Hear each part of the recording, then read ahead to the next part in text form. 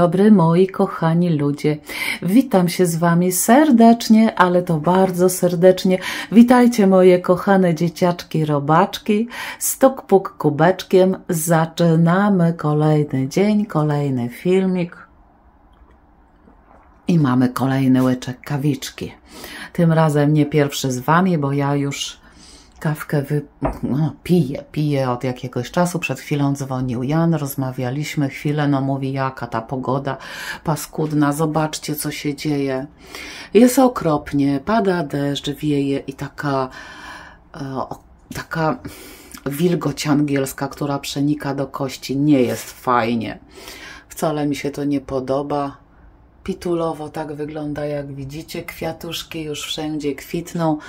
No, ale my tutaj w domu, no bo jak tu nagrywać, kiedy tak paskudnie, zobaczcie rozmaryn, jaki ładny. No i tak to wygląda. Fuj, musiałam Barka wystawić dosłownie na siusiu, bo nie chciał wyjść. No ale jak tu się dziwić seniorowi, kiedy taka pogoda, taka aura. Dobrze, że w, w weekend, kiedy byli znajomi, była ładna pogoda. Przepraszam, e, pełnia nie zawiodła. Widzieliście, jak fajnie było. No i szczęście, że ten deszcz przyszedł teraz, a nie jak oni byli, bo żadna przyjemność by była z wyjazdu nad morze czy, czy w górkach, jakby tak padało i wiało. No dobrze, kochani ludzie. Ja sobie dopiję kawiczkę, Mm, odkurzę. Wczoraj sobie odkurzyłam na górze. Dzisiaj mi zostały schody i tutaj dół. Zwierzaki linieją, to wiecie, tych włosów jest sporo, ale ogarniamy jakoś, nie ma co narzekać. A w ogóle, w ogóle to mamy, co my dzisiaj mamy? Piątek, piąteczek, piątunio i jest pierwszy marca. Chciałam Wam pokazać. Zobaczcie, jaki kalendarz dostałam w prezencie. Y, kojarzycie te kalendarze na pewno. Uwielbiam. Mm, w moim rodzinnym domu to, to tych kalendarzy było. Kalendarz był co roku. Bardzo lubiłam, szczególnie babcia o to dbała, zawsze sprawdzała przepisy. Bardzo lubię. Fajne prezenty dostaliśmy, także przyjemnie. Wiecie, jak to jest, jak się prezenty dostaje. Nawet Baruś dostał fajny prezent, muszę Wam pokazać. E, to tak na, na lato właściwie, ale myślę, że się przyda bardzo. Patrzę na to, to tak, na to, co się dzieje za oknem, to wiecie.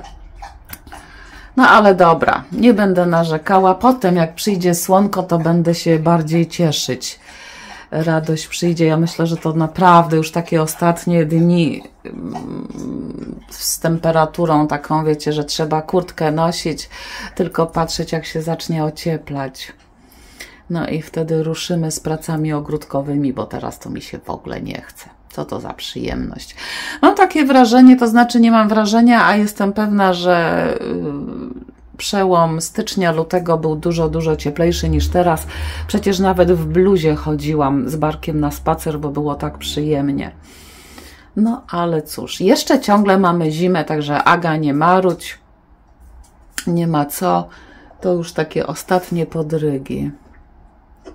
No dobrze, kochani ludzie, to ja się króciutko przywitałam. No i nie wiem, co z tego filmiku dzisiejszego będzie, bo no na zewnątrz to nie będę nagrywała. Myślę, że może po pracy się połączę z Wami i troszkę sobie w kuchni pogadamy, co? Co Ty, Barek, drapiesz w drzwi? Nie puszczę Cię teraz do ogródka, bo mi całą kuchnię tutaj zabłocisz. Odkurzę i pójdziemy na spacerek. Dobrze, to na razie, ludzie kochani. Dzień dobry moi kochani ludzie, witam się z Wami serdecznie, ale to bardzo serdecznie. Witajcie moje kochane robaczki pierwszy raz z tej strony, pierwszy i ostatni, bo chyba na zewnątrz to nie będziemy dzisiaj nagrywali. Tak, wróciłam właśnie z pracy i się nie rozbieram. Włączyłam ogrzewanie. Było włączone, ale przepraszam, było włączone, ale tak e, na minimum. No i jest tak wychłodzona chata, czekam aż się rozgrzeje. E, pójdę oczywiście zaraz z Barkiem na spacer, ale jestem zamrożona. Normalnie tak się ochłodziło, przyszedł ten deszcz i e, temperatura spadła. Jest tak nieprzyjemnie. Wilgoć, taka wilgoć, która przechodzi do szpiku kości, znacie to. No tutaj w Anglii zimą to jest tak nieprzyjemne. Jutro rano to nam pogoda pokazuje minus jeden w niedzielę minus 2, a potem znowu temperatura wróci do normy. Już mam nadzieję, że się zacznie wreszcie ocieplać. Zmarzłam dzisiaj w pubie. Wiecie co, to jest stary budynek. Czekajcie, naleję sobie wody, bo czekałam aż mi się przefiltruje. Już się przefiltrowała, naleję sobie wody, zrobię herbatkę. No i u nas w pracy dzisiaj było tak zimno. To jest stary budynek. Budynek z XVI wieku, nawet nie wiem dokładnie z którego roku, muszę to sprawdzić, bo zapomniałam. Kiedy sprawdzałam, nie pamiętam. Stary budynek i wiecie, nim to się nagrzeje, tak się wychłodziło przez noc. Wiadomo, że ogrzewanie jest włączone cały dzień, ale od nóg zmarzłam, bo to od podłogi ciągnie. Yy, jestem dzisiaj taka po prostu zgęziała, jak to się mówi ale nic to, e, napiję się ciepłej herbatki, chwilę sobie popitolimy i pójdę z Barkiem. Baruś już, oczywiście siusiu zrobił, ale nie chciał w ogóle wejść z domu na siusiu. Senior robi się coraz bardziej wygodny, ale jak będzie widział, że się ubieramy w kubraczek, idziemy na spacer, no to już wiadomo, że go wyciągnę. Mam nadzieję, że się nie rozpada, bo powiem Wam, jak to dzisiaj było. Yy, co pijemy? Pijemy pokrzywę z wiśnią, taką herbatkę dorwałam. W ogóle nie wiem jak mnie widać, bo za mną jeszcze światło, dnia przybyło, także fajnie, bo dużo jaśniej się już robi od rana i wieczorem. No i za mną światło, przede mną światło, a pomieszanie takiego sztucznego światła z, z normalnym to nie daje dobrego efektu, ale mam nadzieję, że mnie widać. Także tak, wiśnia z, z pokrzywą. No i do tego oczywiście mój traganek. Huang Chi, czyli Astragalus membranaceus od mojej chińskiej pani doktor. Cały czas piję. Miałam krótką przerwę, a teraz znowu piję.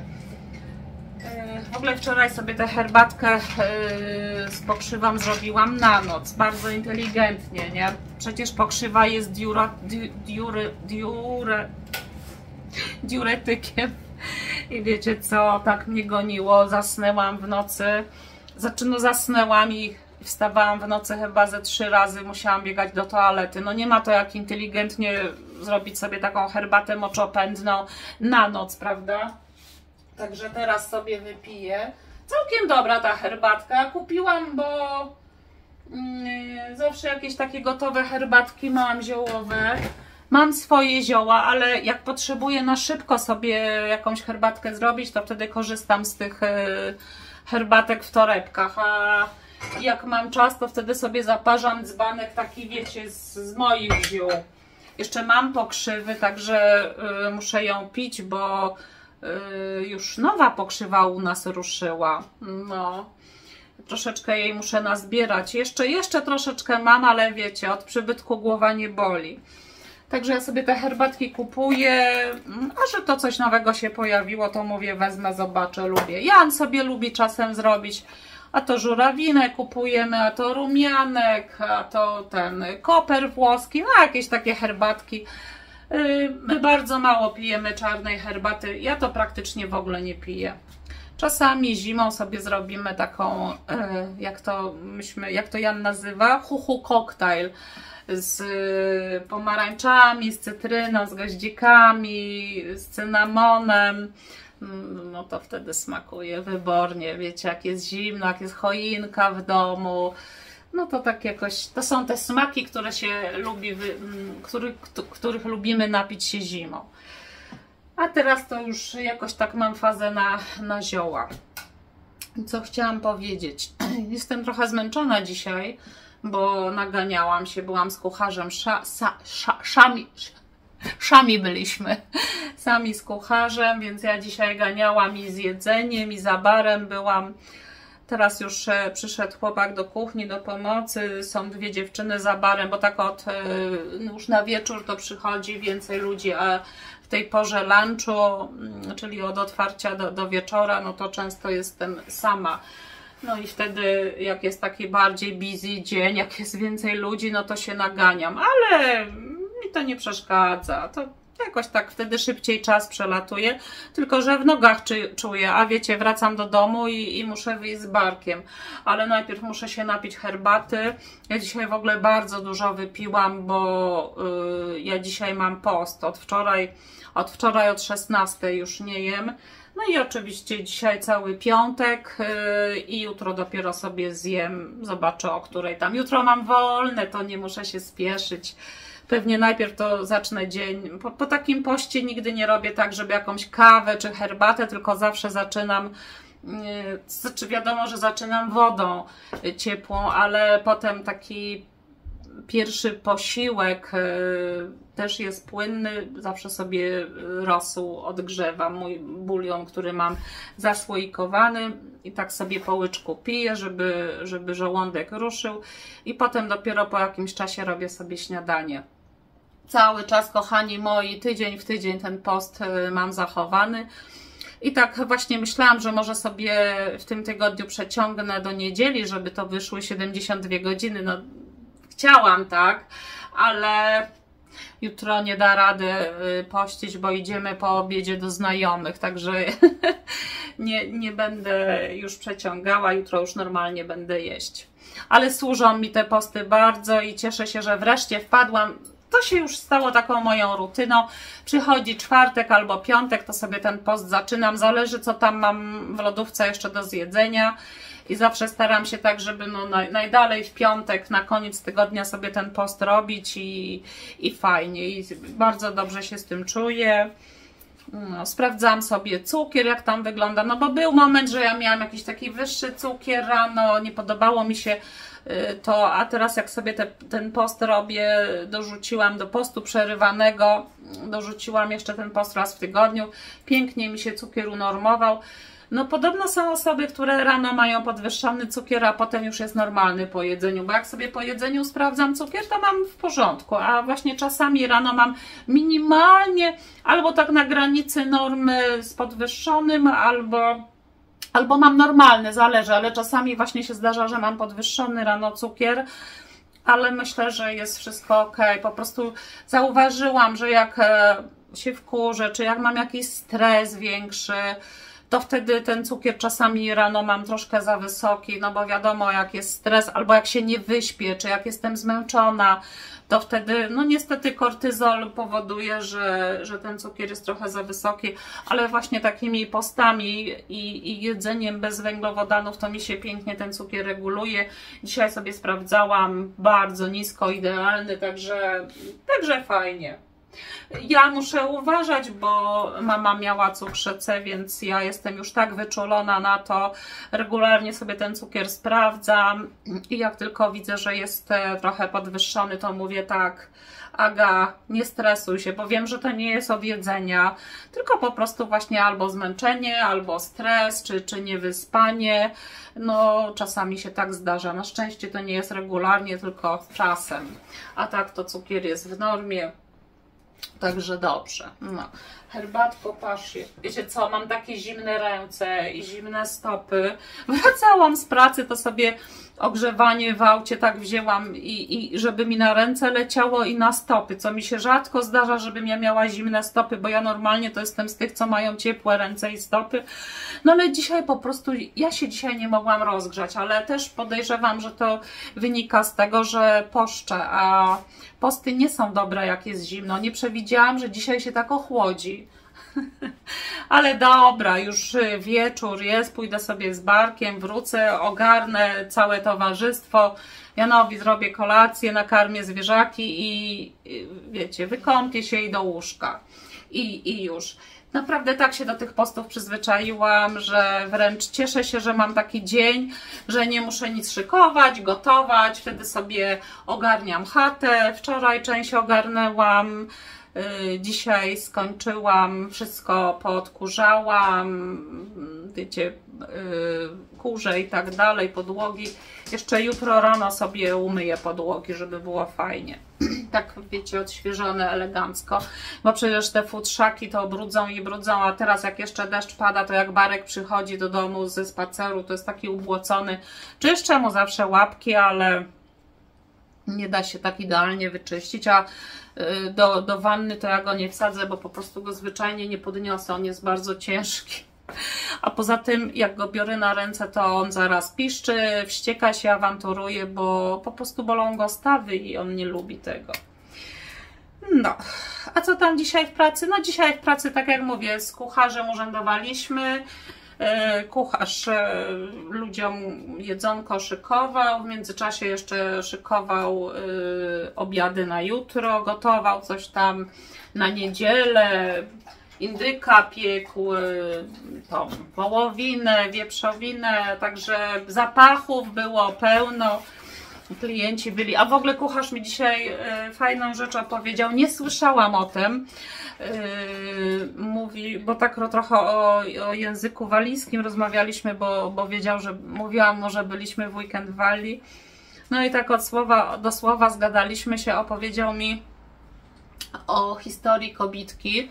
Sprzed kilku lat historia, która miała w Stanach wypadek samochodowy, była bardzo ciężko ranna. No i wyobraźcie sobie, że no, odreanimowali ją, przeżyła ten wypadek, ale jak doszła do siebie, jak już odzyskała przytomność, to się okazało, że nie mówi po, nie mówi po angielsku, nie mówi amerykańskim językiem, tylko mówi po rosyjsku. W ogóle nie pamiętała, nie była w stanie mówić po, po amerykańsku i Y, myślała normalnie, tak jak kiedyś przed wypadkiem, czyli w amerykańskim, w angielskim języku, a mówiła płynnie, normalnie, miała taki fluent rosyjski, że szok. No i yy, zaczęliśmy sprawdzać te informacje. Rzeczywiście taka historia się wydarzyła. I yy, jak przeglądaliśmy w internecie, to odnotowano takich historii ponad 100 E, tego typu przypadków, że właśnie ludzie na przykład po wylewach, czy po jakichś takich e, historiach, e, gdzie po prostu tracili przytomność, jakaś trauma poważna, właśnie wypadek, tego typu rzeczy, czy mm, podczas operacji na przykład nie, mo nie można było, znaczy po operacji, jak nie można było pacjenta wybudzić, to ludzie się, jak już się wybudzili, to mówili zupełnie innym językiem i nie pamiętali tego swojego ojczystego języka. No i właśnie e, historia tej kobitki jest taka, że musiała się od nowa uczyć języka. No w ogóle nie wyobrażam sobie czegoś takiego. Ja mówię do kucharza, wyobrażasz sobie, że budzisz się po, jakiejś, po jakimś takim przejściu, po, po takiej traumie i na przykład zaczynasz mówić po chińsku. Ale się naśmialiśmy dzisiaj, mówię wam tak wesoło było i to tak wszystko w biegu. On tam szykował, ja ganiałam z jedzeniem i, i to nie tak, że myśmy sobie siedzieli i internet przeglądali, bo dzisiaj to czasu na to nie było, ale no historia taka. Przyznam Wam się, że nie słyszałam o tym, to mówiłam już chyba. Pierwszy raz mi to coś, o czymś takim się dowiedziałam. Nie chciałabym przeżyć czegoś takiego nigdy w życiu. A ja mówię do kucharza, wiesz co, Y, ta kobieta, która się obudziła po, po wypadku, to y, pewnie w poprzednim wcieleniu była Rosjanką, no bo jak to inaczej wytłumaczyć? Taka delikatna ta herbatka, ale fajna. Także teraz sobie wypiję. Oczywiście zaliczę toaletę i go gonię z barkiem. Wrócę, to pewno znowu będę gonić do toalety. Miałam przerwę z pokrzywą, długo nie piłam. I tak mnie ta pokrzywa wczoraj pogoniła, a dzisiaj to w ogóle ganiam co chwila, bo jak piję cały czas wodę, no to wiadomo, nie? Już żadnej kawy, niczego takiego nie będę piła, same, same zioła, zioła i woda. Ale, ale czuję się bardzo fajnie. Przychodzi mi taki moment podczas tych postów, że mm, po obiedzie chce mi się jeść, tak nie to, że jakoś jestem bardzo głodna, tylko tak czuję, że to jest ten moment, kiedy no, coś bym mogła wyrzucić na róż, tak co się mówi. ale potem mi to przechodzi. I na przykład teraz już w ogóle nie jestem głodna i tak samo jak już y, jutro rano wstanę, to też nie będę głodna. Zawsze tylko taki moment jest, tak gdzieś mam taką godzinę, że y, chce mi się jeść. Ale zawsze sobie myślę tak, Aga, nie ma sensu nic y, w tej chwili jeść, wytrzymałaś tyle godzin, to szkoda Twojej pracy, Twojego wysiłku na to, żeby coś zjadać. I okazuje się, że to mm, świetnie zdaję egzamin, pomyślę sobie chwilę, zajmę się czymś i, i, i ten głód odchodzi. I naprawdę, I naprawdę polecam Wam, jak macie jakieś problemy zdrowotne, spróbujcie. Może nawet nie yy, tak jak ja to robię, że jeden pełny dzień i, i w sumie jeszcze, no, no wychodzi mi tak ponad 40 godzin tego postu, ale spróbujcie sobie nawet, yy, no nie wiem, yy, ten post przerywany robić. Wiem, że dużo z Was stosuje post przerywany, czyli macie jakieś okienko żywieniowe. 8-10 yy, godzin możecie jeść, a, a resztę godzin nie jecie. To też jest fajne, fajne takie narzędzie do tego, żeby sobie organizm odpoczął, żeby był czas na, na trawienie, na, na oczyszczenie. Yy, bardzo fajnie to działa, bo wiecie, jak się ciągle coś podjada, no to niestety, ale nie ma czasu na regenerację. Jeszcze jak człowiek jest młody, to pół biedy, ale im jesteśmy starsi, to metabolizm się zwalnia, te nasze receptory się uodparniają na, na insulinę i potem są efekty takie, jakie są, że mnóstwo ludzi ma cukrzycę typu drugiego, ma problemy zdrowotne, ma problemy z nerkami, Y, z wątrobą, a, a te wszystkie takie przerwy żywieniowe naprawdę kapitalnie regulują takie problemy. Sama widzę to po sobie, ale jednak silny stres, jakieś przeżycia, jak się zdenerwujemy, coś się dzieje, czy właśnie jak jesteśmy zmęczeni, niewyspani, to jednak powoduje, że y, ten kortyzol nam mm, podnosi cukier. Stres jest czymś strasznym, kochani ludzie. Sami wiecie, jak, e, jak macie jakiś stres, jak się denerwujecie. Szczególnie niebezpieczny jest taki długi stres, permanentny, kiedy on trwa i trwa, kiedy, e, kiedy sobie z tym nie możemy poradzić. Wiadomo, że różnie to w życiu bywa i po prostu taki stres to wyniszcza. Jeszcze jak nie możemy spać, jak w domu nie mamy spokoju, czy w pracy, czy w ogóle jakieś problemy e, finansowe, czy, czy ogólnie, albo jakaś depresja, jak nas dopada. Często mi piszecie właśnie, że e, wychodzicie wtedy do natury, że staracie się uspokoić.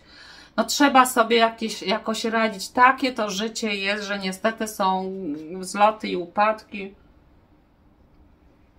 a potem my płacimy za to, my płacimy swoim zdrowiem. Bo niestety, ale organizm nam zawsze odpłaci. Z tym, że po takich stresach, po takich różnych traumach, po przeżyciach, to zbieramy żniwo, znaczy plon jest bardzo kiepski, bo po prostu organizm siada i, i zaczynamy chorować. I taka choroba przychodzi niespodziewanie, i potem jest płacz. Także lepiej zapobiegać, a jeżeli już się dzieje, to po prostu zrobić wszystko, żeby móc sobie pomóc, nie czekać na zbawienne tabletki, na lekarzy, bo to w tej chwili, w dzisiejszych czasach z tymi lekarzami, wiecie co, ja ciągle słyszę w pubie. Hmm, ktoś dzwoni do, do, do lekarza pierwszego kontaktu, próbuje wizytę zamówić, próbuje recepty załatwić. Wiecie, jakie są problemy? To jest jakiś koszmar. Dzwoni się i słyszysz, że jesteś tam, nie wiem, 20-30 w kolejce, czekasz, czekasz, czekasz, a tutaj się a tu wiecie, minuty lecą. Trzeba mieć chyba, nie wiem, wolny dzień, żeby się dodzwonić do lekarza, zamówić wizytę. To jest coś strasznego. No przecież my płacimy podatki i, i chcemy mieć tę opiekę medyczną, a tu się okazuje, że do, dodzwonienie się, po pierwsze dodzwonienie się nawet do, do przychodni to graniczy z cudem, a żeby zobaczyć lekarza, to no u nas to, to znowu to teraz był taki moment, że było troszkę lepiej, a teraz się znowu pogorszyło. No nie da się zobaczyć lekarza. I to już słyszałam nie od jednej osoby w pubie. Jeżeli już jakimś cudem się dodzwonimy, to wszystko na telefon załatwiane. Straszne rzeczy się dzieją. a też y, moja psia psia jedna mm, teraz w lutym była na usuwaniu jakichś takich znamion, y, wiecie, na, na skórze i zabieg miała przeprowadzany na onkologii. Mówi, Aga, to co się dzieje w tej chwili na onkologii, jest tyle chorych osób, jest przepełniony oddział, tam gdzie ona była w szpitalu. Mówi, to po prostu się nie da opisać, co się w tej chwili dzieje, jak ludzie chorują. Ja widzę też w pubie, bo mm, Anglicy też są taki, tacy, że o wszystkim mówią. Jeżeli już się tam jakoś znamy, to opowiadają. Wiecie, ilu mam klientów chorych na nowotwory, y, mają terapię. No prostu jest taka ilość ludzi. Y, ja nie wiem, nie było tego kiedyś tej chwili to po prostu można by powiedzieć, że zupełnie inne czasy i ludzie tak bardzo chorują. No ale co, no jedzenie, stres, e, tryb życia, to wszystko powoduje, że się dzieje jak się dzieje. Dobra, jeszcze tak, bo, bo się rozgadałam, bo ja przyniosłam, byłam na górze włączyć ogrzewanie i przyniosłam Wam, chciałam Wam pokazać, co Baruś dostał od naszych znajomych. Zobaczcie, Mhm. To jest taki, e, taka foczka, nie? I w środku tam jest... E, ja nie wiem, co tam jest w środku. Tak szeleści. W każdym razie jest tam woreczek e, czymś wypełniony, ale to nie jest woda czy jakiś żel. Coś tam jest w środku. To się schładza. Wsadza się do zamrażalnika. A nie, to nie jest dla Ciebie zabawka. I gorące, upalne dni można pieskowi położyć, czy na karku, czy po prostu pod główkę, żeby mógł sobie położyć i się chłodzić. No ja uważam, że świetne. W ogóle to jest takie przyjemne, takie koci-koci. Bardzo fajny prezent dla Barusia. Zobaczymy, jak to w tym roku latem będzie, bo wiecie, że ja to już, ja to już myślałam też o, o klimatyzacji, ewentualnie tutaj do salonu na dół, jak on będzie sam zostawał i jeżeli byłyby jakieś upały poważne, bo no w tamtym roku jakoś się obyło bez upałów. Nie, Barek, nie dostaniesz tego, bo ty byś to przegryzł. A, to się... No nie, nie będę tego otwierała. Ale nie, to można otworzyć otworzyć. Czekajcie. Aha, to nie to całą... To nie całą tę zabawkę się wkłada, tylko pewnie ten... A nie, no jednak jest żel. Nie było czuć tego. O. Jest woreczek z żelem. A tu w środku jest jakaś taka folia. E, tak samo mamy w siatkach na zakupy na lato. Też mamy takie siatki te e, chłodzące. Czy na przykład jak na kemping jedziemy, to też mamy takie torby i tam zawsze sobie pakujemy rzeczy takie, e, które w, e, nie, nie mogą być e, w cieple. No wiadomo, że i lodówkę mamy też na kemping, ale mm, te siatki są bardzo fajne. Także widzisz, Barek, no nie mogę Ci tego dać, bo Ty to przegryziesz. Nawet tego nie, nie zdążyłam obejrzeć dokładnie, bo tak położyłam, jak znajomi byli i wiecie, teraz dopiero dorwałam. Dobrze, że zobaczyłam, bo ja bym do zamrażarki włożyła to całe. No ale no nawet jakbym włożyła w woreczek i, i do zamrażarki, to się nic nie stanie. A jeszcze Wam chciałam pokazać, także Baruś fajny prezent, dziękujemy bardzo. A ja dostałam Neon Stones. Słuchajcie, to jest kapitalny prezent. To są, to jest taki zestaw na początek oczywiście, jak mi się to spodoba, to będę mogła sobie farby dokupić. Czy ja to wyjmę? O, o, o, o.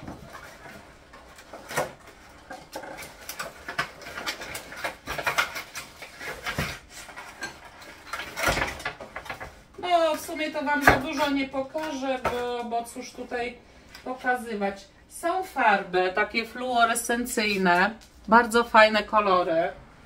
I do tego są kamienie. Zwykłe kamienie, otoczaki takie. Ale ja, jak byliśmy nad morzem, to sobie przywiozłam więcej takich kamieni. I większe, i mniejsze, i czarne, i białe, i brązowe. Najróżniejsze kamienie sobie poprzywoziłam. I będziemy malować kamienie. Tu mam książeczkę z takimi przykładowymi wzorami, jak można takie kamienie pomalować. W najróżniejsze fajne wzorki. No jestem bardzo ciekawa. Zobaczcie, jakie cudeńka można stworzyć. I jestem bardzo ciekawa, co mi z tego wyjdzie, a przede wszystkim jak e, będą te farby na tych kamieniach wyglądały.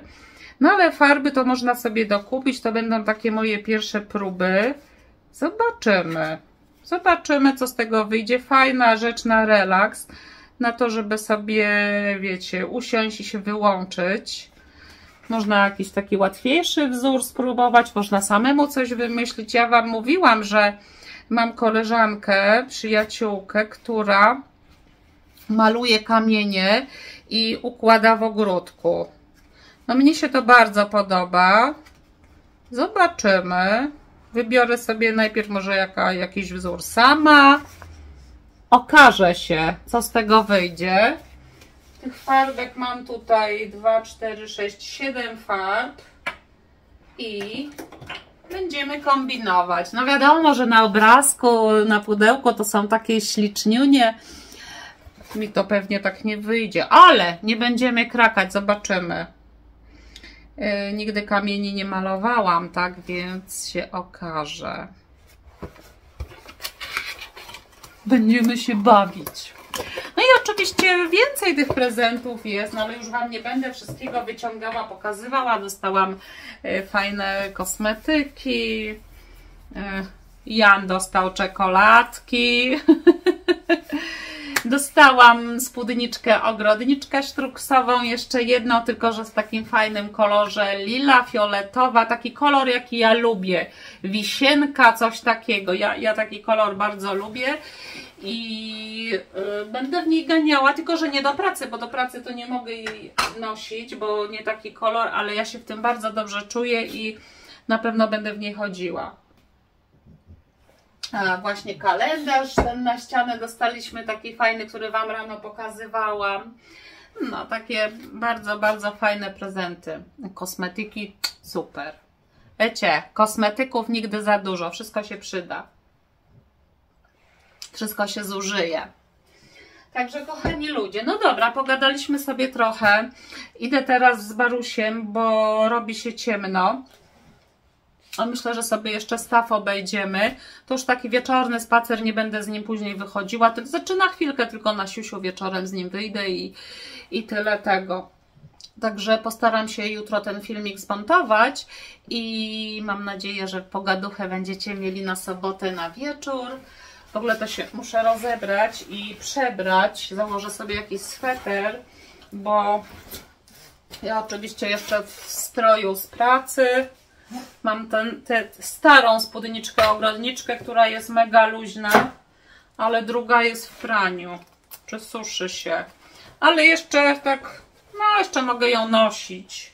Luźna jest bardzo, ale, ale spoko. Daje, daje radę. Fajnie by było, jakbym drugą taką dorwała, bo ja ją uwielbiam. Ona ma kieszeń z przodu i dwie kieszenie na tyłku. Bardzo lubię. Ja nigdy takich ciuchów nie, nie nosiłam, a, a teraz jakoś tak mi przypasowały. No dobra, kochani ludzie, pogadali mi o my, a jeszcze Wam pokażę. Takie fajne rękawice dostałam na, y, do gorącego jedzenia, żeby y, się nie poparzyć. Zobaczcie, jakie fajne z kotkami. O, super są, tylko Czarna to pół biedy, ale zastanawiam się, co ja z tą białą zrobię. Bo wiecie, jak to się wszystko brudzi. I do tego są takie podkładki też z kotem. To są jakieś ciapki, a w, kółeczka, a w rogu, a w rogu kotki. Fajne takie podkładki pod gorące talerze. Ale wiecie co? Ostatnio gdzieś widziałam, właśnie babeczka mówiła, że jak mamy tego typu kuchenne gadżety i yy, na przykład ściereczki kuchenne, które się nie chcą doprać, to dobrze jest wygotować w sodzie. I podobno cały ten brud, który nie chce zejść w praniu, to schodzi. Ja muszę wypróbować, zobaczymy. Jak kiedy stwierdzę, że czas na wygotowanie, to wtedy zobaczę, bo teraz mam nowe ściereczki. Jakieś tam stare zostały, ale ja ostatnio kupiłam nowe ręczniki, bo już nie mogłam patrzeć na nie. No i tak yy, Co tam jeszcze hmm, miałam Wam dzisiaj powiedzieć? No mówię, wszystkich prezentów to Wam pokazywać nie będę, ale chciałam Wam właśnie pokazać te kamienie, bo one najfajniejsze. Hmm. No tak, kosmetyki, szalik fajny dostałam. Hmm. Co tam jeszcze dostałam? Teraz widzicie, za, zapomniałam. Co tam jeszcze dostałam? No, bardzo dużo kosmetyków. Będę piękna Lola. Jak się wszystkim wysmaruje. No. No i oczywiście od nas też znajomi dostali prezenty. Wiadomo jak to jest, że zawsze się tam jakieś, jakieś drobiazgi kupi. No ale cieszę się z tego barusiowego prezentu. Przyjdzie ciepełko, to zobaczymy jak on się sprawuje. Bardzo fajne to jest. Naprawdę. Bo to jest miłe takie Mm, i jest to zapięte w środku ten żel, a jak ja Barkowi lód kładłam na ten, na yy, wręcznik, to wiecie, Barek się ruszył i to wypadało. Mamy też takie żelowe torebki, to Jan używał do kolan, jak go kolana bolały, no ale to też jak zawinęłam Barkowi w ręcznik, taki żelowy woreczek, to jak Barek się ruszył, to ten woreczek, ten woreczek wypadał z ręcznika. A tu jest fajnie, bo jest zapięte, tylko ja się z drugiej strony zastanawiam, jak ja to dam Barkowi, czy on nie zacznie tego mordować. To jest następny problem. Ale no wiecie co, no w razie czego to można zawsze takie woreczki dokupić, bo wiem, że są, bo mówię, bo my nawet mamy, tylko te co my mamy to są chyba trochę za duże. Ale na pewno można mniejsze kupić. Co baryłeczko? Dobra, kończymy, bo Barek się już denerwuje. Ja jeszcze parę łyczków herbatki. I lecimy, bo widzicie, że się ciemno za oknem robi. A w ogóle to było tak, jeszcze Wam tylko powiem. Rano jak się nagrywałam i jak byłam z Barkiem, to lało. Pojechałam do pracy, wyszło słonko. Zrobiło się pięknie słonecznie, aczkolwiek zimno. E, przyszła moja godzina, kiedy miałam z pracy wychodzić, zaczęło tak lać, normalnie ściana deszczu. Ja mówię, no pięknie, po prostu pięknie. Zawsze tak jest, nie? Człowiek y, w domu to leje, człowiek w pracy to słonko. No ale co zrobić? Albo jak mamy wolne właśnie, nie? To często się zdarza, że, yy, że jest brzydka pogoda. Mm. Dobra, nie ma co narzekać. Yy, przyjdą ciepłe dni, to będziemy marudzić, że jest za zimno. Kochani ludzie, kończę. Nie przeciągam. I już ponad pół godziny gadam. No widzicie, miało być 15 minut a Gulinka Pitulinka jednak jest niezawodna. Jak zacznie gadać, to po prostu gadaj, gadaj, gadaj, gadaj. Ja nie wiem, jak ja to robię, a naprawdę na moment się miałam odezwać. Trzymajcie się, kochani ludzie. Życzę Wam fajnego weekendu, eee, smacznych obiadków, pysznych deserów, relaksu, odpoczynku. No i cóż, i widzimy się w następnym filmiku. Moc miłości prosto z serca i do zobaczenia. Pa, pa!